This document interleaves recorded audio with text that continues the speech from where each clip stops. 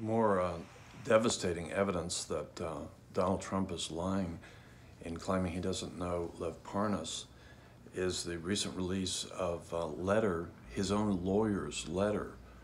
Uh, Jay Sekulow is defending, I think, President Trump in the U.S. Senate impeachment trial, Jay Sekulow.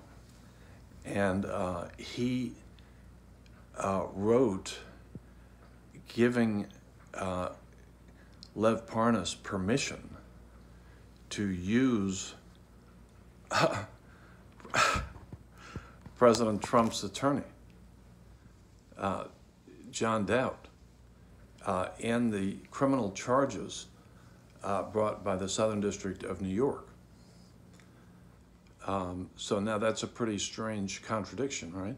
He says he doesn't know him, and yet he gave his permission uh, for Lev Parnas to use his own lawyer.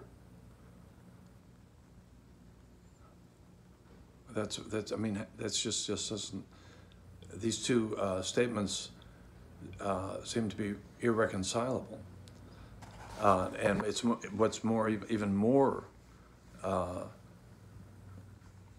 chilling. I think is that um, uh, John Dowd was going to cut. Uh, um, Lev Parnas ended up firing uh, or replacing John Dowd because John Dowd, this was part of the cover up. John Dowd was uh, going to uh, keep Lev Parnas on the Trump team and silent and not blowing the whistle. And in fact, Igor Fruman, the other indictee, still has the president's lawyer that he, he uh, allowed to represent Fruman. Uh, whereas Lev Parnas said, no, I'm not going to be represented by John Dowd. There's a conflict of interest, you know, where Dowd is helping President Trump cover this whole thing up.